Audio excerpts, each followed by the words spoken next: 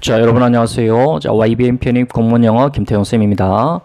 2019년 편입 기출호의 분석 21번째 경기대 분석 incarceration. 자, in은 접두사가 부정 내부 강조. 여기서는 이제 내부 안쪽을 말하고 춘향이하고 지금 변사또 지금 그 상황입니다.